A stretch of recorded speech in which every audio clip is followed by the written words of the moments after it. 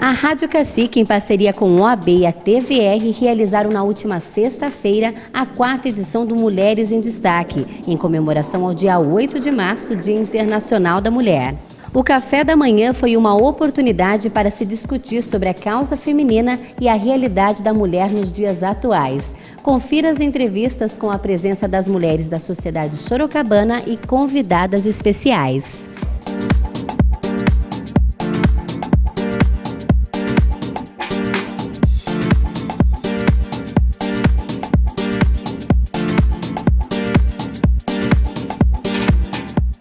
Parceria importante que vem sendo desenvolvida há mais de três anos, a AB Sorocaba com a Rádio Cacique, e hoje não seria diferente, um momento de confraternização.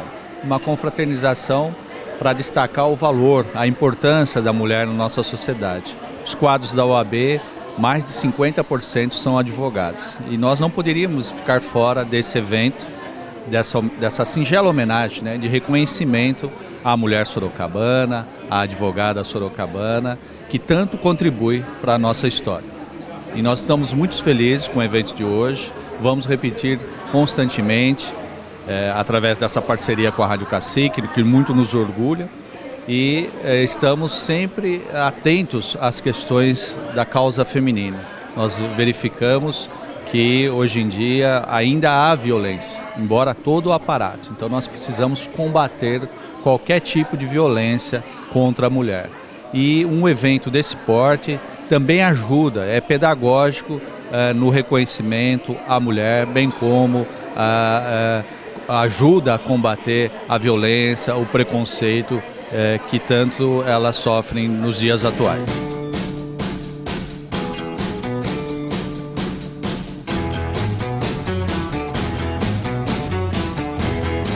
Esse evento é um evento muito importante, né?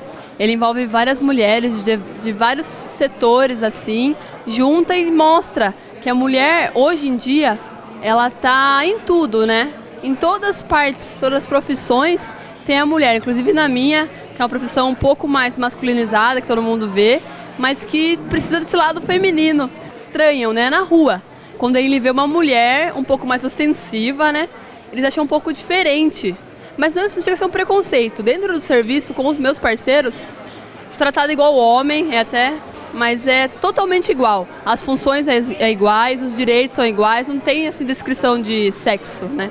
Pretty woman,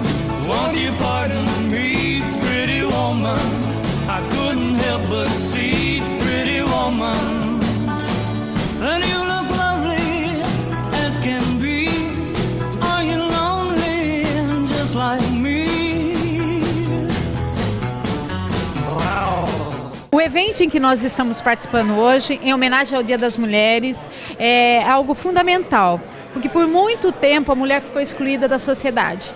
É, eu, como psicóloga, observo o caminhar das mulheres hoje na sociedade e fico bastante feliz é, por, por esse momento em que as mulheres estão vivendo. O momento em que elas estão conseguindo alcançar os seus objetivos. Essa mulher que, diferente de épocas passadas, era uma mulher reprimida, dentro da psicologia nós podemos ver mulheres que hoje têm voz, em que elas podem falar quando elas são abusadas elas têm coragem de chegar ao consultório, a gente a incentiva para que denunciem esses maridos, esses maus tratos, não só com maridos, mas em empresas, onde a mulher por muito tempo tem sofrido essa, esses assédios morais, assédios sexuais. E assim, eu acho que cada dia mais é importante que a sociedade, a mídia possa mostrar para essa mulher que ela tem um lugar na sociedade sim, que ela é capaz sim, em que ela pode ser aceita, sem medo sem restrições, podendo ser ela, porque ela não é menos que nenhum homem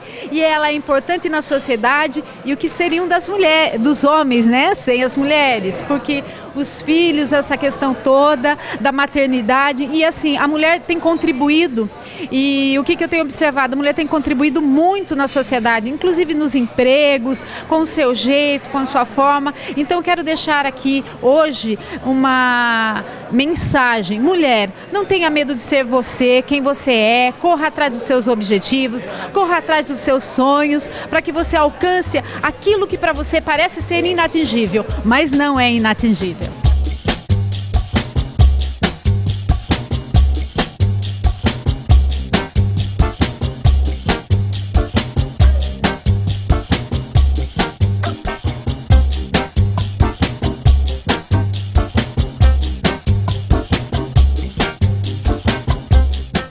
Uma alegria né, estar aqui neste evento hoje, comemorando o Dia Internacional da Mulher, com tantas mulheres que fazem a diferença aqui na cidade de Sorocaba. Acho que é extremamente importante esse, essa solidariedade né, entre as mulheres que possam ter até posições políticas diferentes, uh, uh, formas de atuação diversas, mas têm em comum né, serem mulheres que participam ativamente da vida na sociedade aqui de Sorocaba né, e que contribuem de, é, de uma forma muito importante né, para uh, as várias atividades da cidade. E é, eu acho que as mulheres têm que realmente comemorar né, nosso dia. Ainda, eu acho que tem muito a ser conquistado. Acho que é necessário uma mudança cultural. As mulheres ainda uh, têm dificuldade né, de assumir determinados cargos na sociedade. É, as mulheres são até maioria, mas são minoria nos cargos mais importantes, não apenas na, no, no, mundo da política, no mundo dos negócios, né, ainda é a exceção as mulheres que ocupam cargos mais importantes, mesmo a gente tendo uma mulher na presidência da República. É, eu particularmente eu me sinto um pouco abençoada, né? E talvez, mas não é só abençoada. Eu tive a sorte de ter uma família em que realmente não havia nenhuma diferença no tratamento de gênero. Né? Eu nunca tive alguma coisa que eu não pudesse fazer e que meu irmão pudesse fazer. Nem fui tratada, nem nunca minha mãe achou que alguma coisa era função minha e não dele. Quer dizer, é, as mulheres em casa foram tratadas realmente da mesma maneira. Isso talvez explique o fato de eu nunca ter percebido nenhum preconceito em toda a minha vida. Né? Eu fiz medicina, eu fiz, eu fiz direito, eu atuei né, em, várias, em vários cargos, hoje eu estou como vice-prefeita e realmente eu não me sinto é, tendo nenhum tipo de preconceito, mas eu acho que isso se deve exatamente a uma segurança interna, né, a uma autoestima boa né, que foi dada principalmente pela minha educação. Eu sou muito enfática de que a principal política para a mulher é realmente a gente conseguir trabalhar que a, na, na, mudança cultural da, da, própria educação, né? que as mães eduquem, que a gente consiga fazer um trabalho aí, eu não sei clareza exatamente da estratégia que deve ser usada, mas eu sei que a gente precisa mudar, porque as mulheres são as grandes transmissoras da cultura no nossa, na nossa sociedade. Né? Basicamente, são as mulheres que educam, são as mães, são as professoras, né? na, na, na infância principalmente, a 99% da, da, dos professores são professoras, são mulheres. Nos microcosmos, nos pequenos bairros, por exemplo, as mulheres são as maiores lideranças. E na escola, nos pais e mestres, as mulheres são as maiores lideranças. Nas unidades de saúde, quando a gente tem ali né, a participação no bairro, a mulher é a principal. Agora, quando vai tendo outros cargos, ela sempre abre mão para um homem, né? achando que isso é meio natural. Então é isso que a gente precisa perder, essa naturalidade de que em alguns cargos o homem seja o, o principal.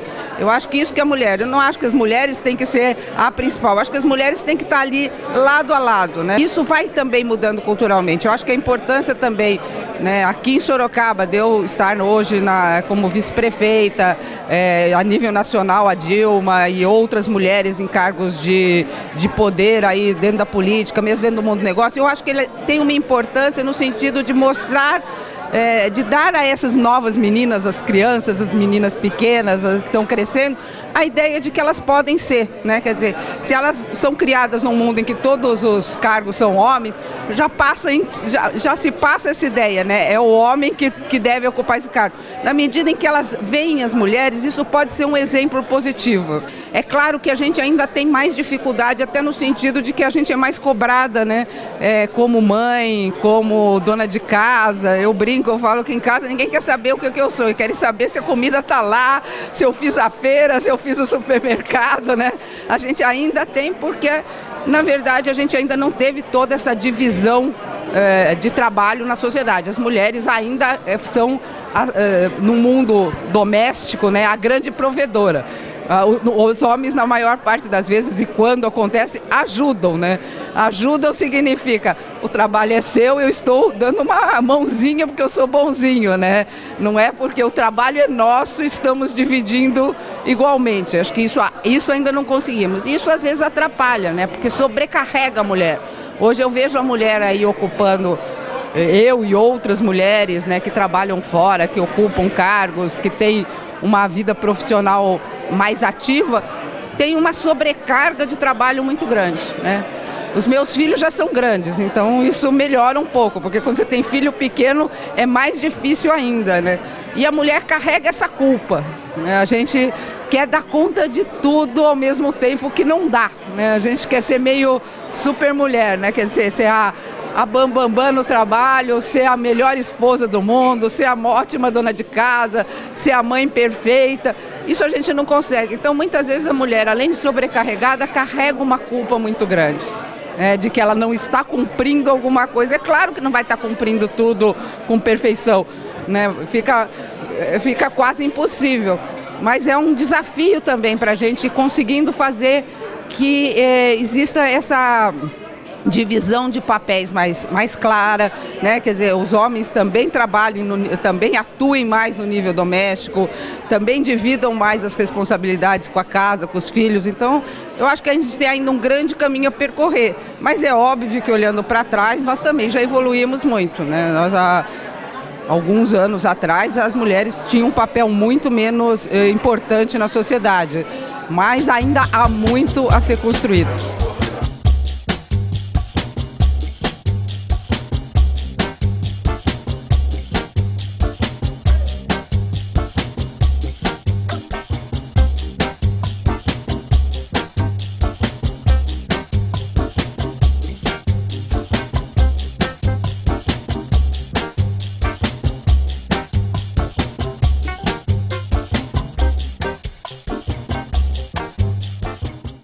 Gostaria de começar parabenizando a TVR, Canal 23, a Rádio Cacique, também a OAB, por esse evento importante, estar tá reunindo mulheres né, que ocupam lugares de destaque aqui em toda a nossa região. É um dia muito importante a ser lembrado, as mulheres estão cada vez mais conquistando esse espaço na sociedade e é muito saudável essa diversidade, né? nós temos homens e mulheres nos mais diversos segmentos, eu acho que é um dia importante a ser lembrado então, parabéns a todos aí, deixar também um parabéns especial às mulheres de Votorantim que eu represento, sendo a única vereadora lá no Legislativo Votorantinense.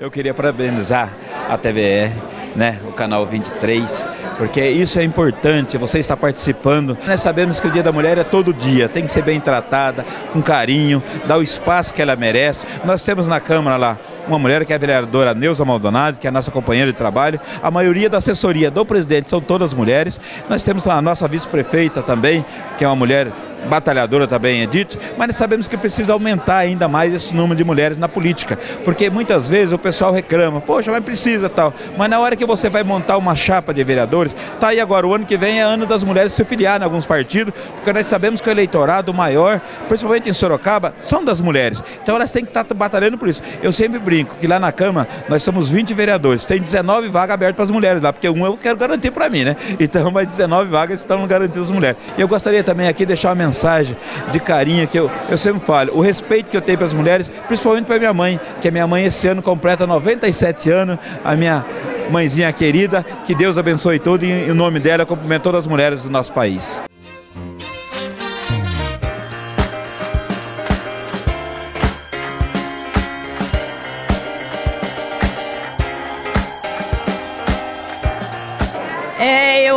Tenho, realmente tenho 60 anos de profissão, um pouco mais de 60. E comecei assim, do nada praticamente, né? Queria trabalhar no rádio desde pequena e encontrei barreira. Meu pai não, não gostava, sabe, dessas coisas, né? A minha mãe já era mais maleável, né? E ela me dava a maior força. E eu comecei então cantando num programa de, de calouros na Rádio Clube de Sorocaba. Um programa que era apresentado pelo Milton Nogueira, saudoso Milton Nogueira. E aí as coisas foram mudando, né? É, outras rádios se apresentando na cidade, até que eu encontrei José Rubens na Rádio Cacique. Fui lá, bati um papo com ele, falei que eu cantava na Rádio Clube, mas que não, é, não era só aquilo que eu queria, sabe? Aí ele falou, ó, a rádio está chegando aqui agora na Miranda Azevedo, não temos nada por enquanto, né? Mas se você quiser tomar conhecimento do que é rádio, você vem aqui de manhã, você faz uma limpezinha aqui na rádio para mim, te pago, ele disse, eu te pago. E você vai tomando conhecimento da rádio. Eu topei, lógico, né? E assim que eu comecei. Daí eu comecei a cantar no Clube Caciquinho. Depois eu comecei a fazer é, locução. Da locução eu passei para fazer radionovela. É, de inter, interpretar radionovela, eu passei a escrever também. Entendeu? E assim a minha carreira foi subindo, subindo, né? Até hoje estou aí. Na Rádio Cacique eu faço um programa na Cacique AM à tarde, chama-se Show de Mulher, toco música brasileira, só brasileira, porque a Rádio Cacique é rádio brasileira. E tenho agora, me deram a oportunidade de fazer na FM, A Hora do Rei, programa exclusivo com Roberto Carlos. Eu falo muito dele, sabe, do conhecimento que eu tenho com ele, entendeu? É um programa até interessante e só toca a música dele. E é isso aí. Então, eu acho que a mulher, a gente sempre foi discriminada, sempre, né? Mas hoje nós estamos transpondo barreiras. A mulher está crescendo, ela está fazendo o que ela quer, entendeu? Sempre aprendendo e tendo seu valor. Então, estou muito contente de estar aqui nessa reunião aí dedicada a nós mulheres e peço a elas, dando primeiro os parabéns a elas pelo dia, peço que elas continuem sendo guerreiras, não tendo medo de nada.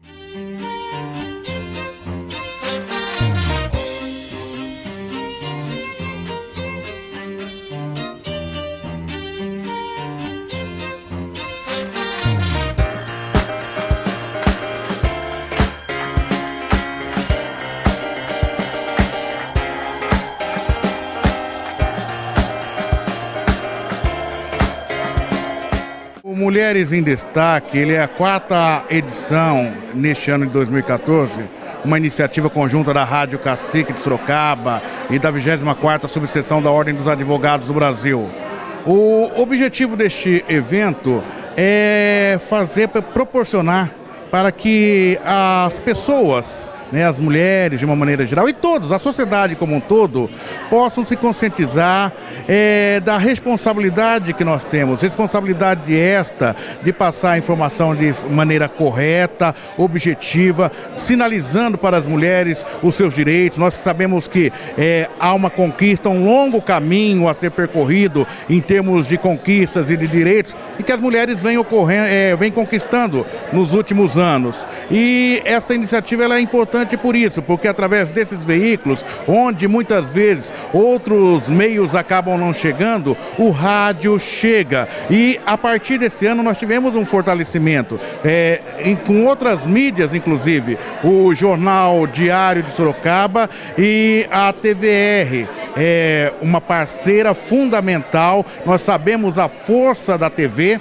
e automaticamente esse conjunto de mídias somados, quem ganha é a população, porque a informação ela vai chegar de forma direta e objetiva e vamos atingir o nosso compromisso, o compromisso social dos veículos de comunicação, que é informar e muito bem a sociedade. E nós esperamos que é, aquelas pessoas que tiverem acesso a essa informação possa se tornar agentes multiplicadores e que ao automaticamente é, no futuro essa mensagem possa ser difundida é, para outros pontos, não só da nossa cidade, do nosso país, porque infelizmente a mulher sofre violência. É, em, em, todos os setores da sociedade. Dentro da escala da pirâmide, de, desde o topo até a base, nós sabemos que há ainda é, determinados, determinadas situações que devem ser reprimidas pela sociedade, né? E o objetivo é esse, mostrar que existem ferramentas à disposição da mulher e esse é o nosso papel como formadores de opinião. Esse evento Mulheres em Destaques é uma iniciativa conjunta com a OAB, onde a gente quer estar tá transmitindo a informação sempre com qualidade e transmitindo quais são os direitos das mulheres. A gente vai estar com vários informativos durante o mês, falando sobre o, dever e as obrigações que a mulher tem perante a sociedade. E também a gente quer deixar uma, a gente deixa sempre a grande mensagem que é o poder que a mulher tem. A mulher hoje ela tem, ela é dona de casa, ela é mãe, muitas ainda não são, mas estão a caminho. E, e dizer que a mulher ela é forte, é, às vezes é, ela é agredida é, não só fisicamente, mas também psicologicamente. E isso, às vezes, algumas mulheres perdem o foco, desistem de sonhos por, por ouvir o lado negativo, que a, a mulher ela é muito frágil, mas a fragilidade ela não tem nada a ver com a incompetência. Então eu queria deixar o recado para todas as mulheres, dar parabéns pelo dia e deixar a mensagem que todo mundo que tiver um objetivo, traçar esse objetivo e tiver fé, tiver fé em Deus, acreditar, ela sempre vai conseguir ser uma mulher em destaque. Obrigada. Mulher brasileira.